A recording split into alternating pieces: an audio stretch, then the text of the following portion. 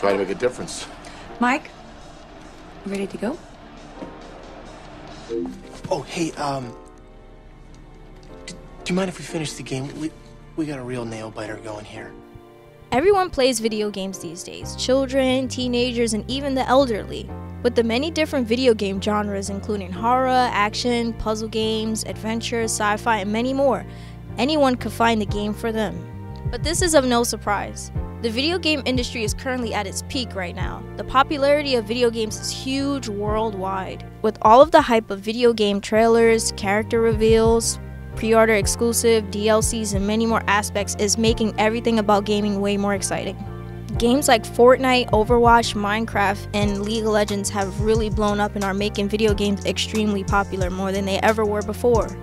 For example, games like Smash Bros., Street Fighter, and Mortal Kombat have a lot of passionate fans who get really excited for the character reveals and downloadable content.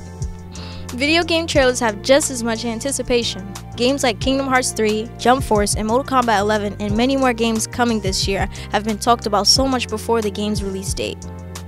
People have actually made successful careers from video games as well. People like PewDiePie, Jacksepticeye, DashieXP, and Markiplier have become very successful from playing video games on YouTube. Even live streamer Ninja from the social media platform Twitch has gained a really successful career from playing the game Fortnite. Gamers also make a name for themselves through tournaments. Many of them become well known in the gaming community for winning first place titles at these big tournaments. Some of the games that are played at these worldwide tournaments are like Call of Duty, Street Fighter, League of Legends, and Smash Bros. 4.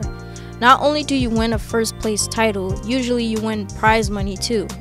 Being a popular gamer within the community could lead to things like sponsorships as well. Some sponsorships including Ubisoft, G Fuel, Razer, and many more.